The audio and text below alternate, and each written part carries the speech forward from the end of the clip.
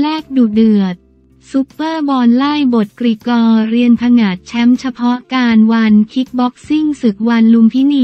58 เมื่อวันที่ 5 เมษายนที่เวทีมวยลุมพินีคู่เอกเป็นการชิงแชมป์โลก ONE คิกบ็อกซิ่งรุ่นเฟเธอร์เวท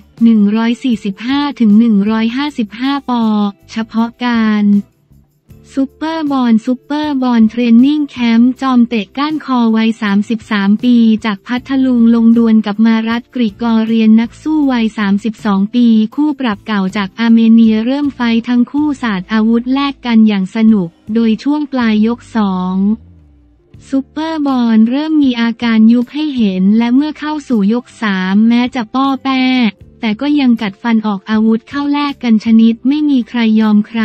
อีกหนึ่งในคู่ที่คนไทยให้ความสนใจ น้องโอฮาม่ามวยไทยยอดมวยวัย 37 ปีจากสกลนคร ที่ก่อนหน้านี้พ่ายมาสองไฟติดลงดวลกับกุหลาบดำสอจอเปียกุไทยเจ้าของฉายาซ้ายอุกาบาทวัย 25 ปีจากสุรินในกติกามวยไทยรุ่นแบนตั้มเวท 135-145 ปอยกแรกช่วงต้นทั้งสองคนยังดูเชิงไม่ออกอาวุธกันมากนัก ก่อนที่ช่วงท้ายจะเริ่มเปิดแลกเล็กน้อย จากนั้นเข้าสู่ยกสองทั้งคู่ออกมาสาดอาวุธกันดูเดือด กุหลาบดำเน้นไปที่หมัดชุดส่วนน้องโอโจมตีด้วยการเตะ ก่อนที่ช่วงท้ายยกจะแลกศอกกันสนุกจน น้องโอแตกบริเวณคิ้วขวาต่อที่ยกสามทั้งคู่เริ่มมีอาการเหนื่อยให้เห็น แต่ก็ยังพยายามสาดอาวุธเข้าใส่กันสนุก ก่อนครบสามยกกรรมการชูมือให้น้องโอชนะคะแนนกุหลาบดำ comeback คว้าชัยชนะได้สำเร็จ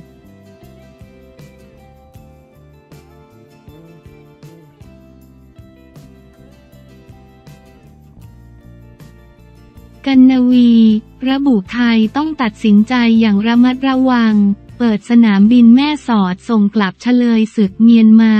กันนวี ระบุไทยต้องตัดสินใจอย่างระมัดระวัง เปิดสนามบินแม่สอดส่งกลับเฉลยศึกเมียนมา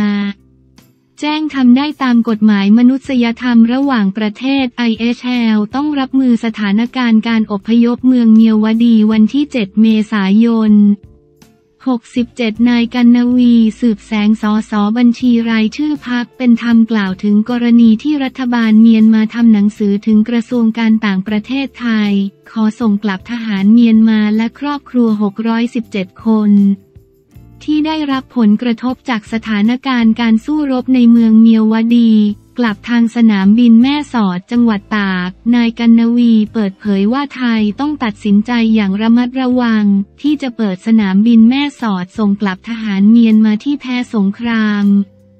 แม้ทำได้ตามหลักกฎหมายมนุษยธรรมระหว่างประเทศ IHL แต่อาจส่งผลให้เกิดความรุนแรงและการอพยพของผู้ลี้ภัยจากเมียวดี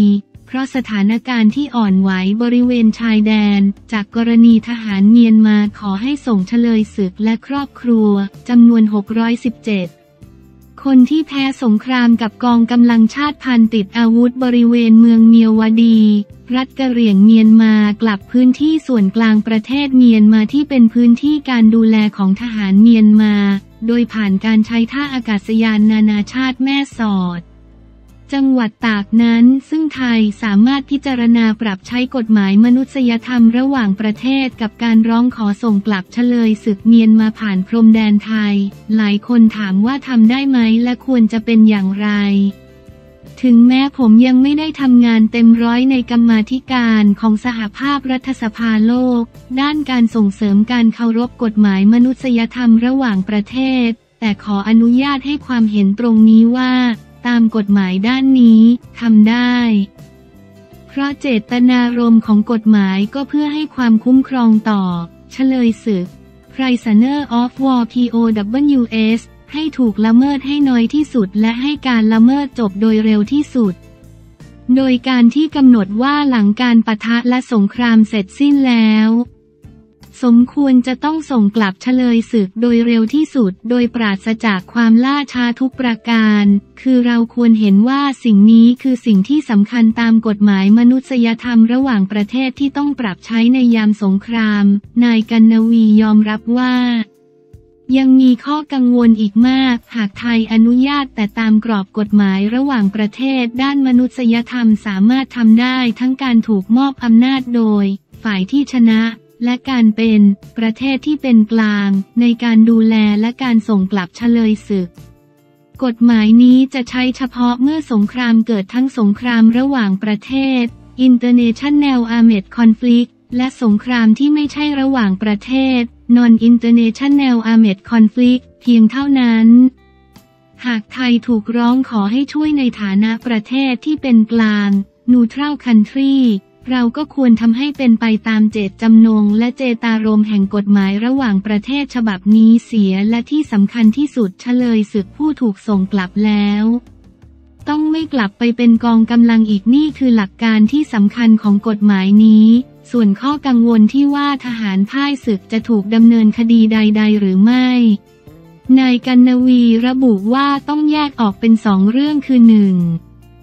ระเบียบปฏิบัติและกฎหมายภายในกองทัพเมียนมา ก็ว่ากันไปตามกฎและระเบียบภายใน ซึ่งใครก็คงไม่สามารถไปแทรกแซงได้สองในขณะที่ไทยต้องรับผิดชอบดูแลเฉลยศึกใด ๆ ก็ตาม หากมีข้อกังวลอะไรก็ตามที่เกิดขึ้นกับเจ้าตัวเฉลยศึกเอง และเป็นการร้องขอใด ๆ ตามหลักการร้องขอด้านมนุษยธรรม ไทยก็มีสิทธิเด็ดขาดในการพิจารณาตามหลักการของไทย และรวมถึงจารีตประเพณีระหว่างประเทศที่ทุกประเทศต้องปฏิบัติตาม โดยเฉพาะเรื่องหลักการไม่ส่งกลับ non refoulement ซึ่งก็คงต้องว่าไปเป็นรายกรณีสถานการณ์แบบนี้จะเกิดขึ้นอีก จึงขออนุญาตเสนอให้ไทยทำระเบียบปฏิบัติประจำรอปจหรือ Standard Operating Procedure SOPS ด้านนี้รอไว้ได้เลยครับผม แต่อย่างไรก็ตามต้องคอยดูสถานการณ์ดีๆ และต้องระมัดระวังไม่ให้ตกเป็นเครื่องมือต่อการสนับสนุนให้เกิดความรุนแรงด้วย และเป็นเรื่องที่ไทยจะต้องเตรียมตัวรับมือ นายกันนวีระบุว่านี่จึงเป็นการตัดสินใจที่ยากสำหรับรัฐบาลไทย และต้องระมัดระวังไม่ให้ตกเป็นเครื่องมือต่อการสนับสนุนให้เกิดความรุนแรงด้วย และเป็นเรื่องที่ไทยจะต้องเตรียมตัวรับมือ นอกจากมีผู้ลี้ภัยที่อยู่ประชิดชายแดนกว่า 6 0แสนคนแล้วสถานการณ์ในเมียวดี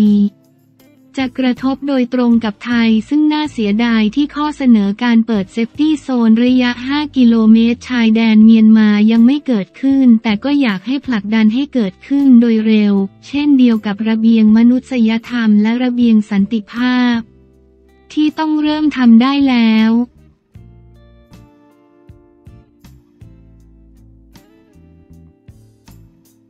ทัดดาวนึกแจ้งแยกทางฮิตาชิริวาเล หลังร่วมงานหนึ่งฤดูกาลฮิตาชิเอติโมริวาเล